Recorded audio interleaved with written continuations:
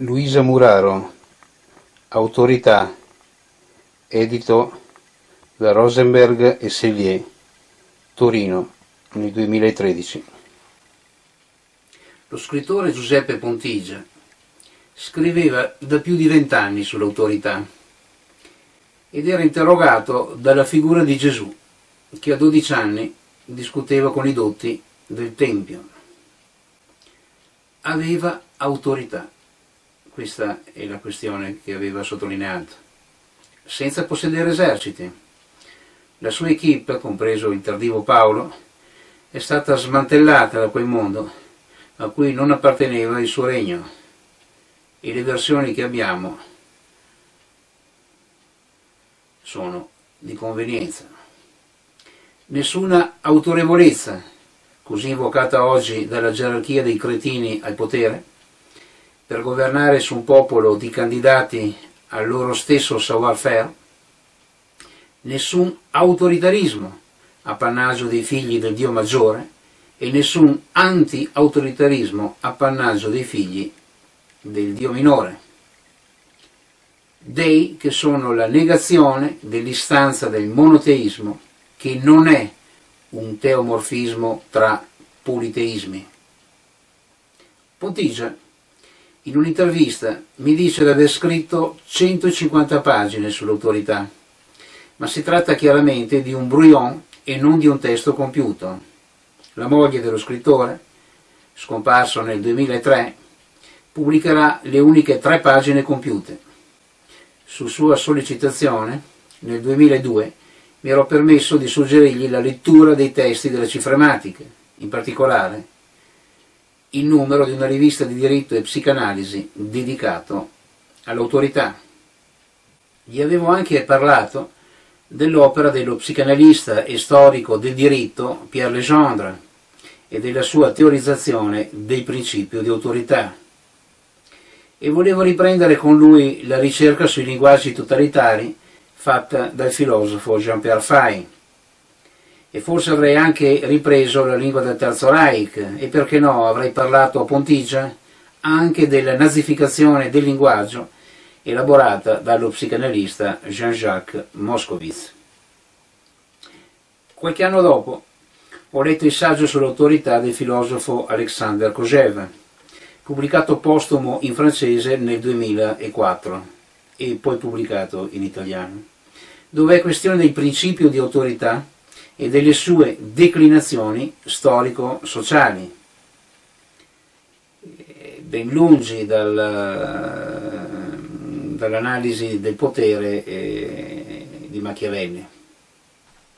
Sembrerebbe infatti il testo oh, di Kojev un testo di sociologia dell'autorità, dell'autorità senza principio che interessava a Pontigia, nessuna traccia cerco ancora altri elementi sull'analisi dell'autorità nel libro di Miriam Revol Dallon, Il potere degli inizi, saggio sull'autorità, e nella sua sociologia trovo un altro archivio da leggere, ma non risposte.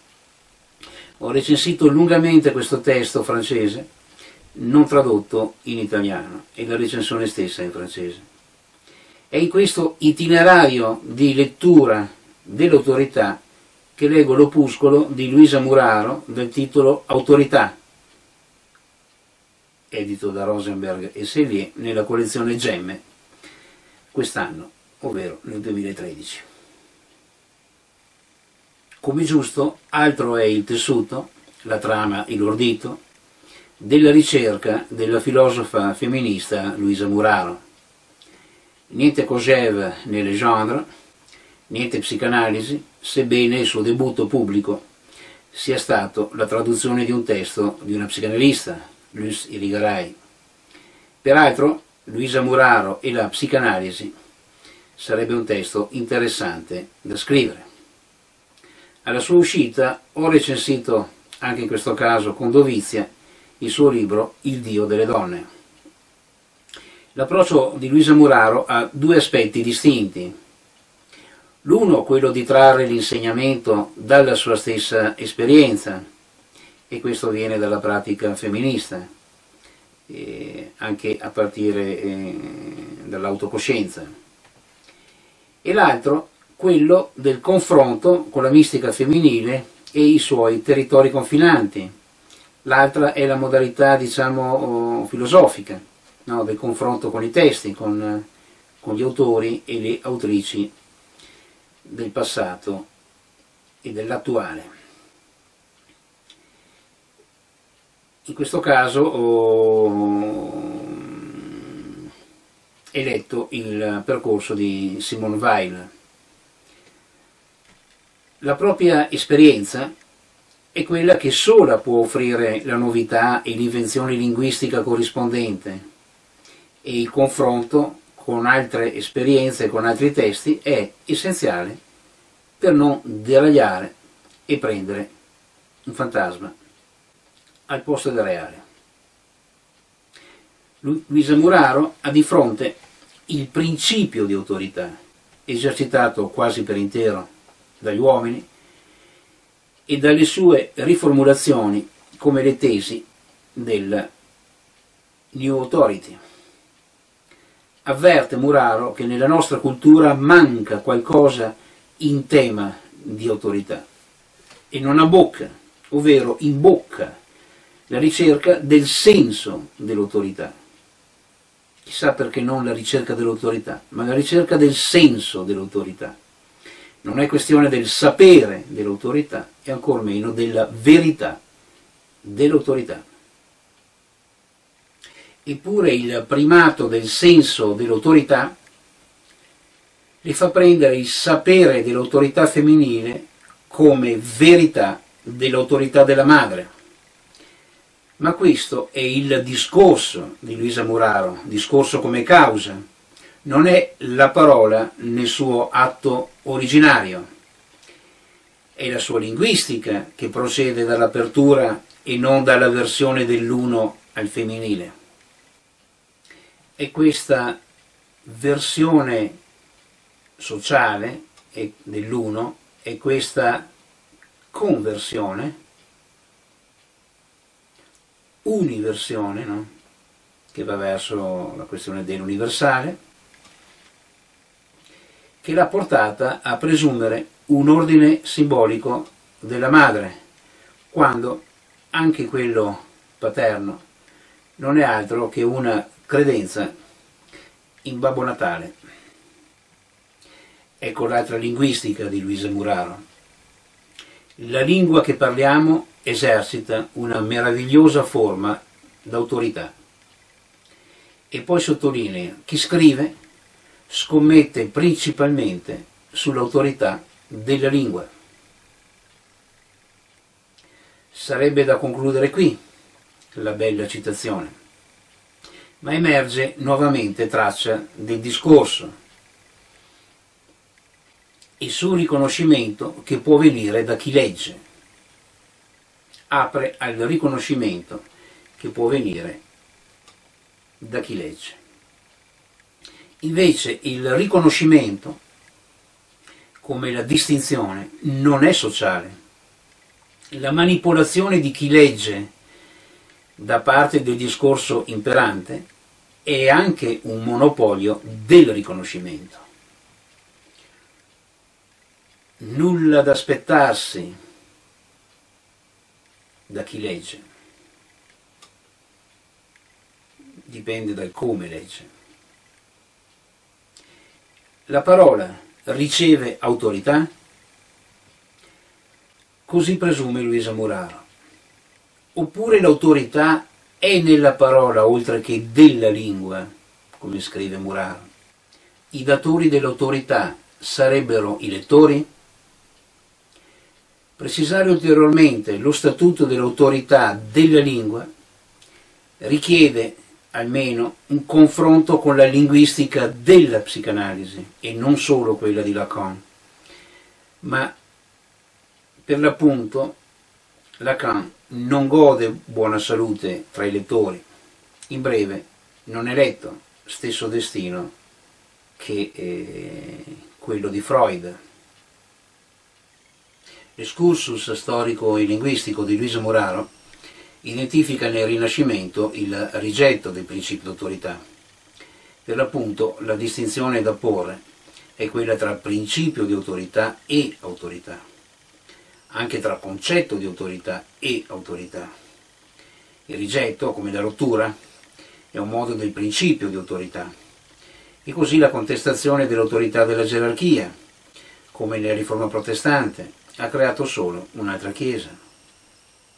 E così la rivoluzione scientifica di Galileo Galilei è ancora compromessa con l'ordine gerarchico, come nota giustamente Muraro, che riporta il destino delle due figlie, chiuse in un convento per, per lasciare l'eredità tutta al figlio maschio. Una definizione di autorità di Luisa Muraro è quella di forza simbolica, intrinseca alla parola stessa. E questo è eh, orientamento e occidentamento dell'esperienza.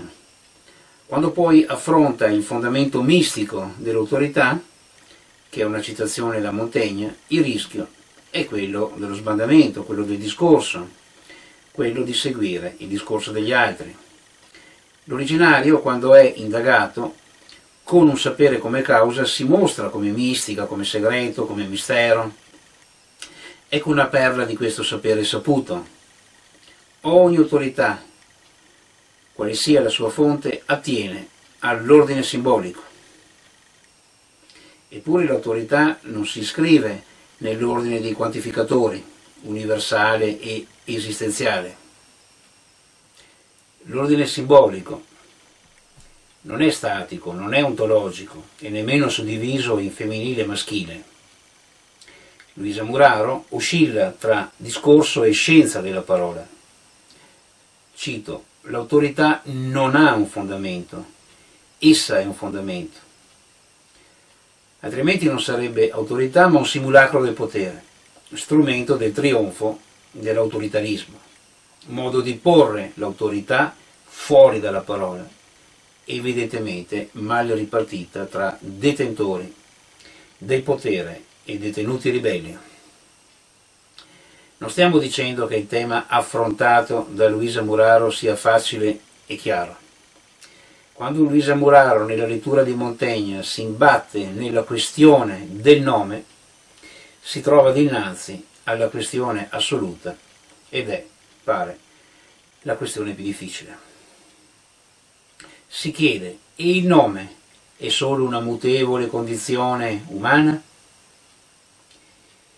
E nuovamente la scienza dell'esperienza, e non quella libresca, la spinge nella giusta direzione. L'autorità della legge è l'autorità della lingua e di un nome. E proseguiamo nelle sfumature.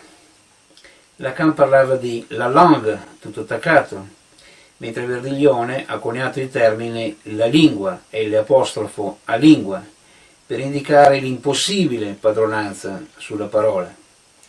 Resta tuttavia che la funzione di nome, quella che Freud chiama funzione di rimozione, è anche funzione di zero e funzione di padre, non funzione paterna come in Lacan e nel lacanismo.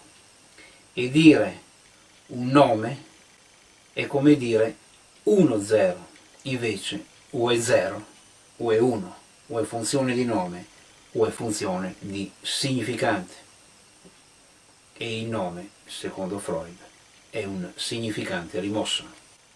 L'indistinzione tra principio di autorità e autorità originaria, autorità della parola e nella parola, è appesa l'indistinzione al primato del fallo, quello che è messo in discussione ma non senza oscillazioni e sbandamenti. E sono anche impossibilità di analizzare certune formulazioni che sono connotazioni sociali, così stratificate e quasi sostanziali da sembrare materiali, originarie, come per esempio la condizione umana, quale grande tema della filosofia di Montaigne. La condizione nella lingua non ha nulla di umano, può anche risultare abietta, immonda, aberrante. Così lo specchio, lo sguardo, la voce, quali aspetti dell'oggetto della parola. Nessuna prerogativa del soggetto che inutilmente può suddividersi algebricamente in maschile e femminile, oppure in cinque generi oggi offerti nel supermarket globale dai gender study. L'autorità può agire senza i mezzi del potere e del dominio, scrive Luisa Muraro. L'azione è della parola e non il frutto dell'ideologia e neanche dell'idea, a meno di dire che l'ideazione stessa è inconscia e non è la facoltà di immaginare, di avere delle idee. Ma quando si declina al femminile l'autorità è tolta a favore del suo principio, che è anche principio dell'innegabile, su cui si fonda la negazione dell'esperienza, l'economia della negazione. Scrive Luisa Muraro, dell'autorità femminile abbiamo fatto un principio politico. L'autorità femminile dà la parola a esperienze mute che sono state escluse dall'opera della civiltà. E tutto questo è preso dalla mascheralità maschile. Impossibile peraltro dare la parola o prenderla. La presa è della parola senza prendere questo come malattia, come ha fatto Lacan, che parla della parola come di un cancro. Chi dà la parola a un muto, a una muta, è un, una vociferante. Chi dà la parola agli esclusi è un, una incluso, inclusa, malgrado o buon grado, senza il grado dell'esperienza originaria. Allora non ci sarebbe più l'originario, ma l'origine. Non ci sarebbe più l'autorità nella parola, ma il principio di autorità in mano agli umani, per lo più. Maschi. Ecco la tesi di base di Luisa Muraro. L'autorità ha origine nella relazione materna, intesa come rapporto biologico che diventa relazione umana man mano che si traduce in gesti, segni, parola. Questa ominizzazione della natura, che troviamo anche e soprattutto in Claude Lévi-Strauss, è l'altro nome dell'impianto totemico e tabuico, l'altro nome del primato del fallo, e volgerlo al femminile non modifica l'impianto. Interessante quando Luisa Muraro obietta a Simone Weil che scrive la gerarchia è un bisogno vitale dell'anima umana e afferma a me pare che in una gerarchia prevalgano sempre i rapporti di potere sono il sistema dei rapporti di potere. Ma una connessione tra la gerarchia e l'ordine simbolico della madre, Luisa Muraro non la fa. E così propone di combattere il circolo della forza con la forza simbolica dell'autorità, senza intendere che combattere il circolo lo fonda come prigione necessaria. È un modo della riproduzione della prigione. del fantasma di prigione in Platone. E così la trasgressione e la rivolta, magnificate da Luisa Muraro, appartengono al primato del fallo. La ricerca del senso di autorità, sino all'approdo nel suo possesso, sono senza nominazione, senza materia della parola. Si tratta di psicologismo, antropologismo, misologismo. La voglia di farsi capire e di scrivere in modo semplice trae con sé persino gli occhi della mente e la magia della parola. D'accordo, ripresa questa da Pavel Florensky. Allora è anche facile credere che, per esempio, la crisi dell'autorità sia innegabile. Tesi d'alcebrista in attesa di geometrista, di esecutore. Oppure, facile, credere in Aristotele, ossia non sputare su Hegel, credendo che noi siamo animali simbolici impastati di parole, credendo quindi all'impastatore e all'impastatrice, ai loro ordini simbolici, al senso femminile e al senso maschile dell'autorità. La mia non è una diretta presa di parola maschile, semmai preso nella parola, nella sua logica e nella sua politica, tra la difficoltà e la semplicità, mi trovo in un viaggio linguistico singolare, in cui attenermi all'autorità del nome funzionale è, e cito Luisa Muraro, l'antidoto di ogni idolatria. E anche di più, oltre all'aspetto farmaceutico dell'idolo, ondeggiante tra rimedio e veleno. La negazione dell'originario non basta mai, occorre reiterarla come il supplizio di Sisifo. Il bisogno d'autorità, caro a tante ideologie, è quello del suo principio, ovviamente dato sempre come carente, tramontante, declinante, manchevole, scomparso, evaporato, eccetera.